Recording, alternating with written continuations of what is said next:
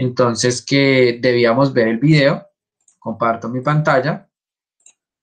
¿Listo? Y muy atentos.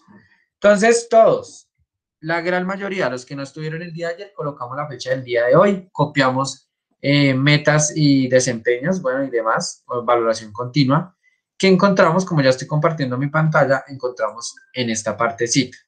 Entonces, miren que encontramos el material. Se puede ser aquí o aquí, pueden encontrar los dos. Necesitamos tener fecha, metas de comprensión, desempeños de comprensión y valoración continua. ¿Listo? Entonces, esto lo debemos tener en nuestro cuaderno. Encontramos el enlace del video, entonces pues lo ideal es que estemos muy atentos a este video, tomemos los eh, apuntes respectivos que solo nos dan como tres ejemplos, no más. Debemos copiar los tres ejemplos. Si hay preguntas mientras vamos viendo el video, que eso es algo de pronto que a la vez es básico, pero muy importante en el momento de graficar, sea eh, o de representar gráficamente o analíticamente y los intervalos. ¿Qué es un intervalo? ¿Listo? Entonces, pila. Si hay preguntas, por el chat yo voy a estar pendiente, resolvemos las dudas que hayan. Y bueno, esa es la idea del día de hoy. Bien, y copiar los 13 pequeños ejemplos que nos muestran en el video. Entonces, listo, muchachos. El título, pues, intervalos o intervalo. Y comenzamos con el video. No olviden que debemos tener ahí metas de comprensión, valoración continua y demás. Entonces, iniciamos. Listo con intervalos. Todos muy atentos. Buenos días, tardes o noches, según cuando veas este vídeo. Vamos a trabajar con intervalos. Los intervalos en matemáticas son conjuntos de números, números reales, de los que trabajamos siempre, comprendidos entre otros dos que nos dan A y B, que se llaman extremos.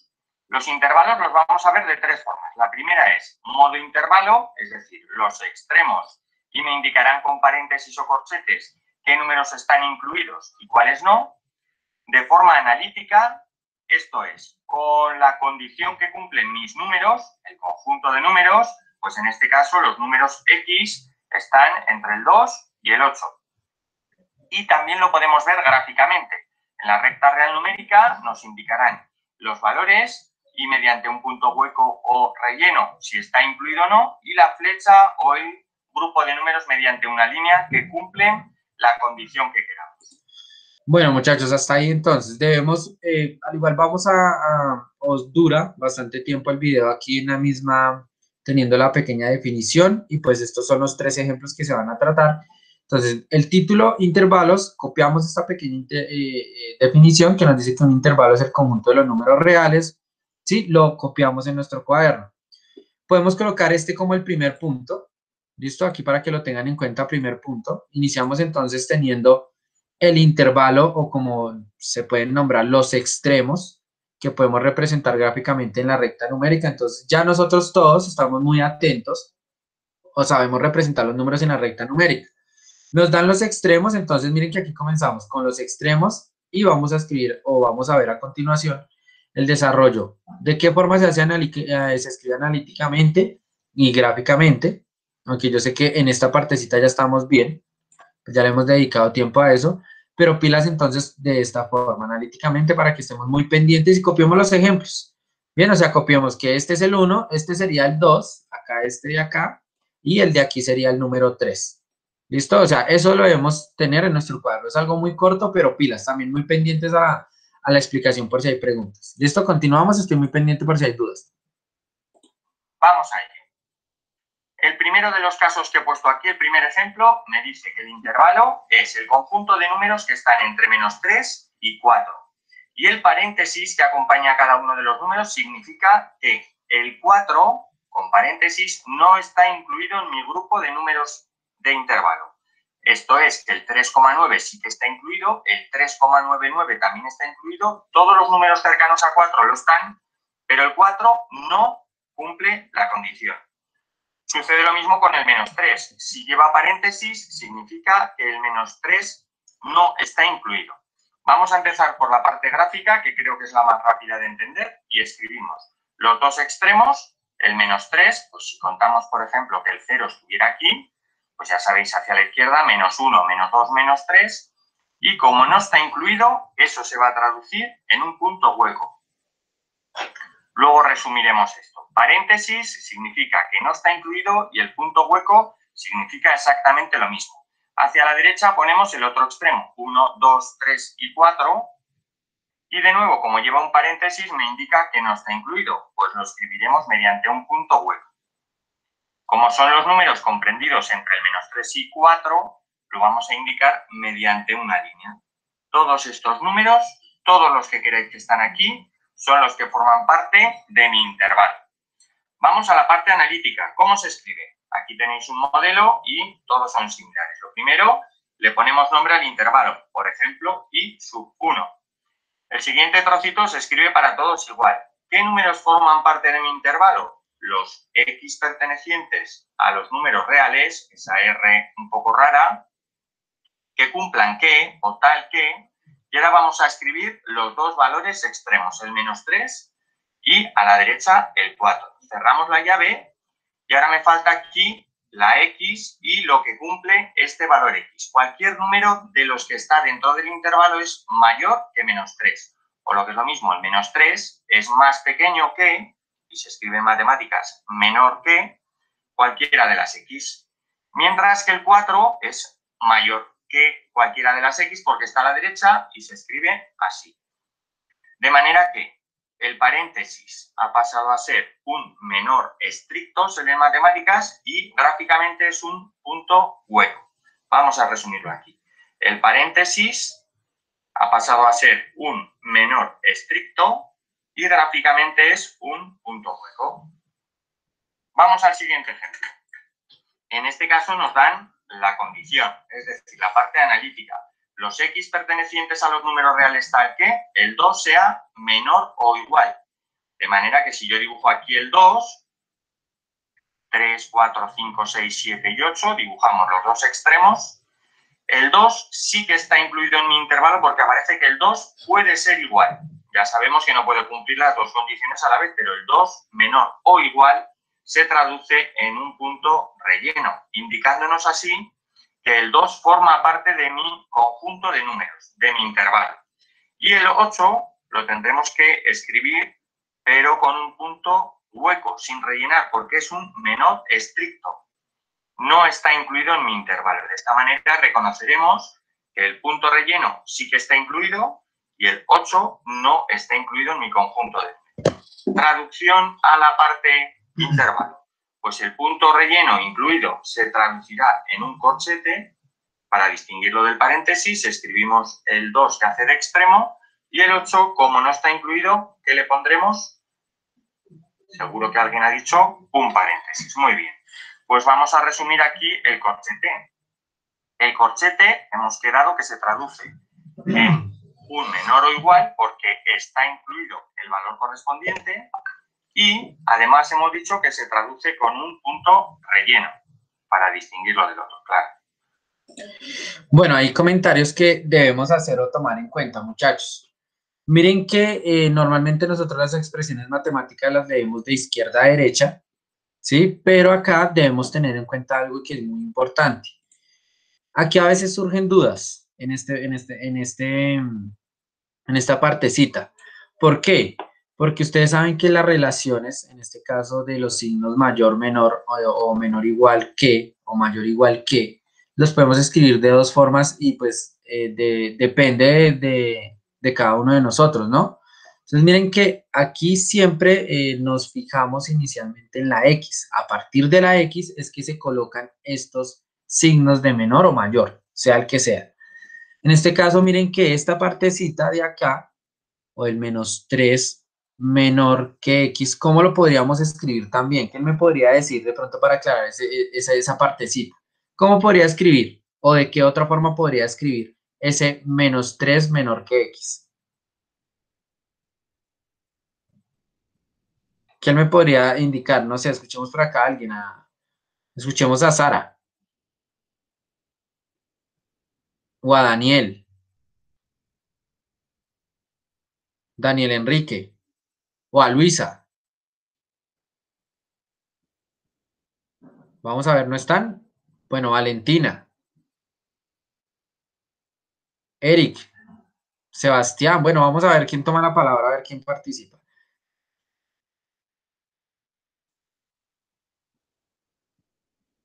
Listo, veo, voy a registrar asistencia de esa forma, ¿listo? Porque veo que no están eh, muy, como muy atentos o bueno, la idea es que hagan sus comentarios, así no sepamos, muchachos, opinen, participen. Entonces, en este caso, vamos a, con Kevin. ¿Kevin me escucha? Sí, señor. Listo, Kevin. Miren, eh, ¿de qué otra forma podría escribir esto, Kevin? El menos 3 menor que X. ¿Cómo lo podría escribir? ¿Usted qué piensa de esto? ¿Cómo lo podría escribir?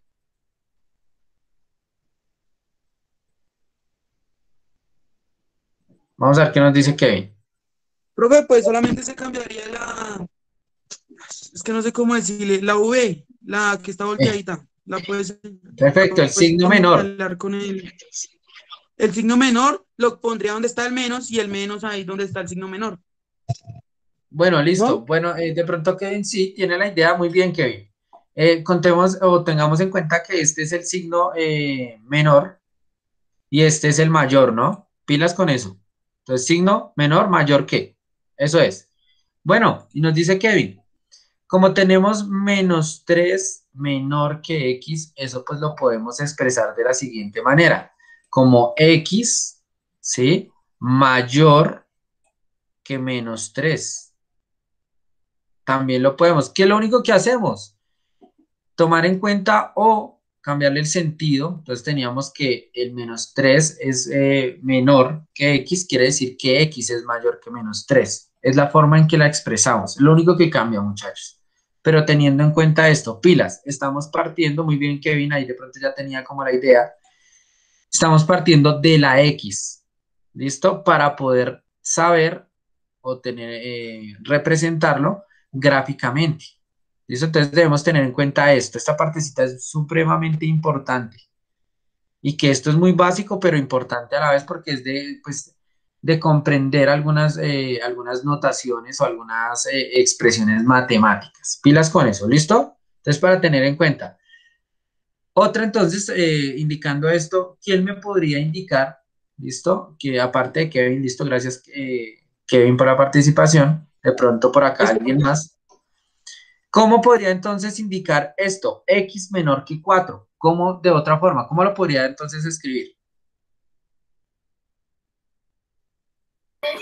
4 mayor que X. Listo, entonces vamos a ver, por acá me dice muy bien eh, participando, me dicen que lo podría escribir entonces, si tenemos X menor que 4, ¿listo? ¿Cómo podríamos entonces? Me dicen 4 me dicen así, voy a escribirlo, vamos a ver si sí, mayor que X. Vamos a ver. ¿Están de acuerdo con, este, con, este, con esta otra forma de escribirlo o que es correcta? ¿Quién me podría decir? Pilas, tenemos que X es menor que 4.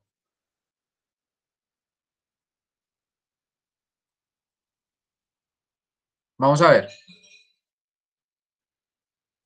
Listo. Miren que aquí cambia. En este caso lo podemos ver a partir de qué? De la, de la gráfica.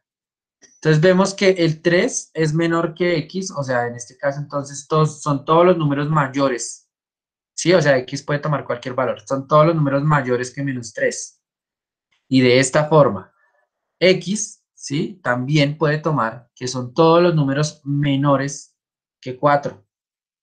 ¿Listo? Entonces, para que lo tomen en cuenta ahí. Entonces, que X es eh, menor o todos los números menores que 4. Pilas con esta, esto porque esto lo debemos eh, tener muy, muy presente y muy en cuenta. Porque a partir de esto es que lo podemos representar gráficamente. Bien, continuamos de pronto para este, tener en cuenta también o rescatar algunas cositas de aquí debemos tener eh, eh, o pasar a nuestro cuaderno. Una pequeña definición, es algo muy sencillo y por eh, aquí, primer punto, que es este, entonces el intervalo que nos dan, cómo se escribe analíticamente y cómo se representa gráficamente. El segundo, entonces miren que aquí cambia, cambia dependiendo de los signos que utilicemos o los símbolos, en este caso sea mayor, menor, igual, eh, en este caso, y teniendo en cuenta cómo utilizamos los signos de agrupación para representar esto. Depende de qué, si se toma el número o no se toma. si es un círculo eh, o una circunferencia vacía, o como aquí la están representando, ya rellenando. Pilas con eso y ya vamos a hacer eh, algunos ejercicios, pues aplicando esto de aquí para ver si ustedes entonces, pues veo que no hacen preguntas, tomo en cuenta que entonces no hay eh, dudas. ¿Listo? Si hay dudas, estoy muy pendiente a las dudas. Vamos a terminar el video que ya es muy corto para poder hacer los ejercicios. Paréntesis, menor estricto, punto hueco, corchete, menor igual, punto relleno. Y por último, vamos a este de aquí. Vamos a traducir un intervalo que está en forma gráfica a intervalo y a forma analítica. Este punto es el 5 y como está relleno quiere decir que está incluido, pondremos un corchete. ¿Pero qué número me indica esta flecha hacia aquí? Pues hacia la izquierda sabemos que nos iríamos hasta el menos infinito. Pues vamos a escribir en mi intervalo el menos infinito como extremo y el 5 también como extremo, separado por una coma. Hemos quedado que el punto relleno me indica que está incluido, pondremos un corchete, corchete y punto relleno, mientras que al menos infinito, sabéis que es un número al cual no podemos llegar nunca, le añadiremos un paréntesis indicando que no lo podemos conseguir. ¿Cómo lo escribimos de forma analítica? Pues he llamado a este intervalo i sub 1, i sub 2, pues a este le vamos a llamar i sub 3, muy original. Igual la primera parte para todo lo mismo, x pertenecientes a los números reales, tal que, y ahora vamos con esto, pondríamos los dos extremos menos infinito y el 5 y la llave final. En medio la x. Y ahora vamos allá. Como está incluido el 5, se traduce en menor o igual. Todos los valores que son menores o iguales que 5 están en mi intervalo. Mientras que el menos infinito siempre va a ser más pequeño, ha quedado aquí muy junto, que cualquier valor de la x. Bueno, pues este trocito de aquí, el del menos infinito, como lo cumplen todos, a veces se obvia, no se escribe. Y también a veces encontraréis otra forma de escribir esto, no voy a escribir todo, pero en lugar de escribir que x es menor o igual que 5, hay otros que escribirán que el 5 es mayor o igual que x. No os asustéis porque esté cambiado, lo podéis ordenar y así en la recta numérica se ve mucho mejor. Un saludo. Listo, perfecto muchachos. Miren que pues algo que es muy puntual, pero a la vez importante, entonces vamos a hacer los siguientes ejercicios como, eh, bueno, antes de eso, de continuar y demás, y pasar a los ejercicios que ustedes los van a hacer, que son a partir de estos ejemplos, ahí dejo un momento también, aunque el video ustedes lo pueden revisar en plataforma, está en el material. Entonces, aquí, preguntas de, algún, de alguno de estos ejercicios. Miren que podemos comenzar, que nos den el intervalo y del intervalo, pues, a hallarlo analíticamente o representarlo gráficamente o así con cada uno de estos. Entonces, por medio, si nos dan la eh, gráfica, podemos entonces escribirlo analíticamente y de igual forma determinar el intervalo que, está, que, que tenemos, ¿no? Entonces, dudas, muchachos, preguntas. Dudas y preguntas. ¿Qué vamos a hacer? Vamos a trabajar en unos ejercicios, pues, que tienen que ver con esto. Entonces, vamos a colocar ahí un subtítulo ejercicios. Y los ejercicios, pues, van a ser los siguientes. Ya los voy a escribir en el tablero para que ustedes los puedan observar. Entonces, para que fijen mi pantalla y puedan escribirlos y desarrollarlos. ¿Listo? Para los que no asistieron el día de ayer, entonces, a los que asistieron el día de ayer, todos vamos a trabajar a nivel general en los ejercicios. Los voy a, pues, de pronto a preguntar o que podamos participar uno por uno, cómo quedó, vamos eh, desarrollándolo. Y los que no asistieron el día de ayer, pues será la oportunidad para recuperar esa notica del día de ayer. ¿Listo? En cuanto, pues, de asistencia y demás. Entonces, todos trabajando, eh, por favor, fijan mi pantalla y que puedan ver pues los que voy a escribir en el tablero, los ejercicios que vamos a desarrollar. Bien, entonces dejo por acá de compartir un segundo para que puedan eh, ver mi pantalla, el tablero y listo. Entonces, muchachos, muy pendientes, copiamos los ejercicios, ya los voy a colocar por acá para que podamos iniciar con nuestro trabajo.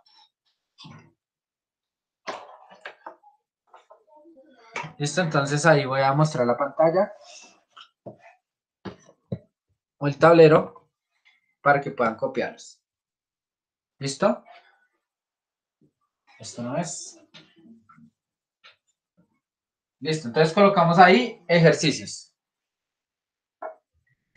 Después de, pues, de copiar la definición y demás, entonces ejercicios.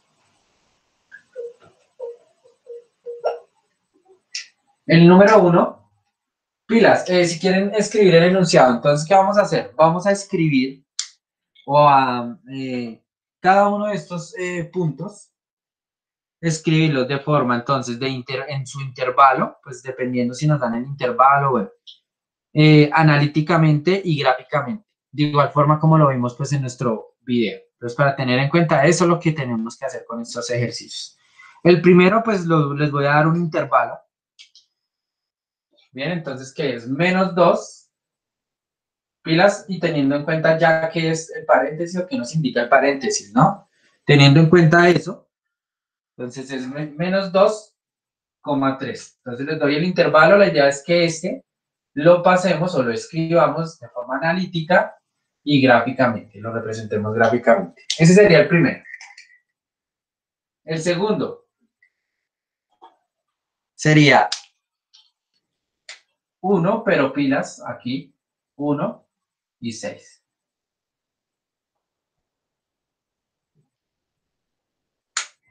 El tercero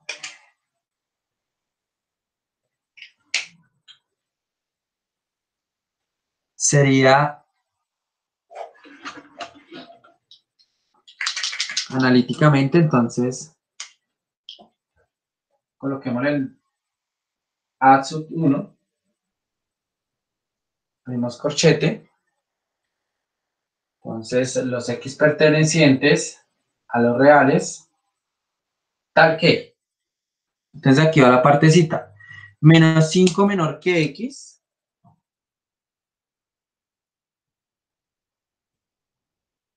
Menor que 1. ¿Listo? Los X menor que 1, cerramos entonces nuestro corchete. Ese sería el tercero, pues la idea es que este lo escribamos en intervalo y gráficamente. Y el cuarto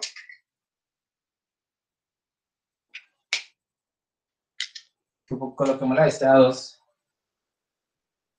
sub 2 x perteneciente a los reales tales que 3 es menor igual que x y x es menor que 5. Listo, muchachos, cuatro ejercicios eh, muy sencillos para que ustedes los puedan desarrollar de las tres maneras. Recuerden, si ya tenemos el intervalo, pues lo debemos representar analíticamente y representar gráficamente. Entonces, el 1 y el 2 es lo mismo. El 3 y el 4, como lo tenemos analíticamente, lo escribimos, ustedes escribimos el intervalo y lo representamos gráficamente, el 3 y el 4. ¿Listo? Entonces ahí para que lo dejo. ¿Listo? Cuénteme. ¿Será que me puedes hacer el favor de enviar la foto al grupo? Sí, listo. Sí, ya la envío. La envío ya al grupo para los que de pronto... Ya la voy a enviar. ¿Listo? Gracias. muchachos, entonces, en este caso, eh, la pregunta que de pronto pueden tener ustedes, eh, profe, ¿hay que apuntar a algo? No. Vamos a desarrollarlos. Si hay dudas, trabajamos en las dudas que puedan presentarse y eh, después de ello entonces tomar en cuenta a los que no asistieron el día de ayer. Entonces los que no asistieron el día de ayer, podemos de pronto recuperar de, haciendo estos pequeños ejercicios la notica de, de, ayer, de pronto pues para que no queden un 10. ¿Listo? Entonces pilas, trabajando todos juiciosos. Si hay alguna duda, estoy como muy pendiente. Ya voy a ver entonces al grupo.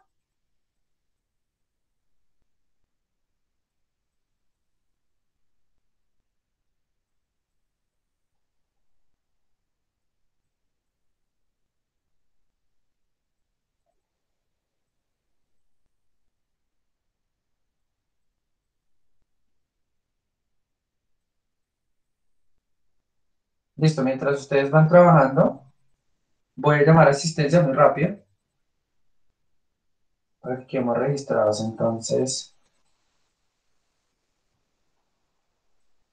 Aquí, encontrar el grupo. Bien, ahí envío la imagen.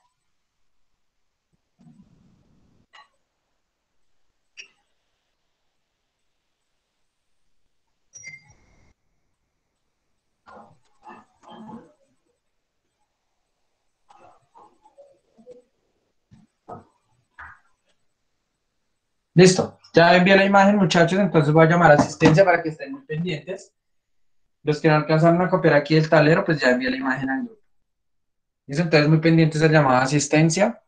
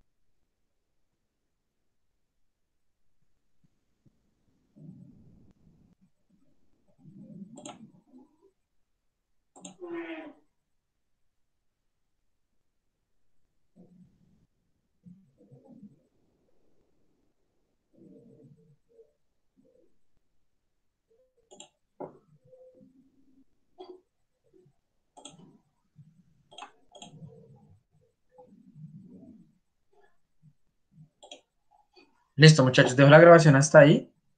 Pues para que cuando la vayan a revisar, alguien que la vaya a revisar, pues no que les pase el trabajo de nosotros ni eso. Esto ya quedó entonces como el trabajo que tenemos que hacer y demás, entonces dejo la grabación hasta ahí.